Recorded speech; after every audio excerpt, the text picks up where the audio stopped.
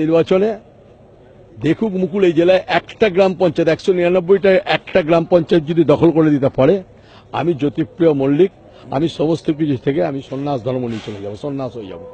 একটা গ্রাম পঞ্চায়েত দখল করব একটা। সিঙ্গেল গ্রাম পঞ্চায়েত।